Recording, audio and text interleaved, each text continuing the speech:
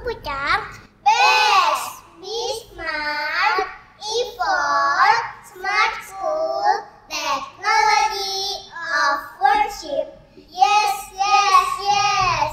We are from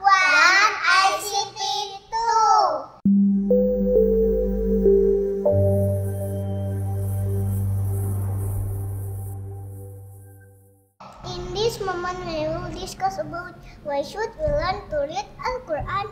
Before that, we introduce ourselves. I am Aisha as moderator. Today I am accompanied with my sister and my best friend. Hello everyone, I am Fatima. I am seven years old. I am a little sister sister of Aisha. We are twins. We live in Klopo Sepuluh Sukodono village. Hello everyone, I am Kanya. I am seven years old. I live in Kerapen village. Okay, let's start to discuss our topic about why should we learn to read Al-Quran. How about you, Settlement Fatima?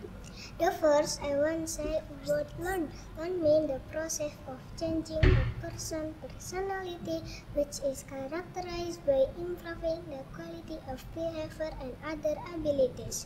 And you, Kania? And the second word of Quran, Al-Quran is a holy book that revealed by Allah Subhanahu wa Ta'ala to the Prophet Muhammad Sallallahu Alaihi Wasallam through angels Jibril to convey to human and as a source of Islamic teachings and as a guideline for humanity. So, what's your opinion about our topic today from Fatima, please? Okay, my opinion, when we learn Al-Quran, we can understand about way of life and make our life easily. How about you, Kania? With Al-Quran can get guidance from Allah and we can understand the right or wrong. Okay, can you give tips to learn Al-Quran fluently from Fatima? Okay, we must learn with companions such as with teacher at school or with parent at home. Tips from me, we must istiqomah and orderly when learn Al-Quran. And Kanya, last please give, give conclusion about that.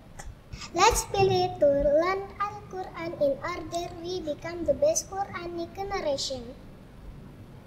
Let's spirit to learn and memorize Al-Quran in order we can give the crown for our parent in the heaven.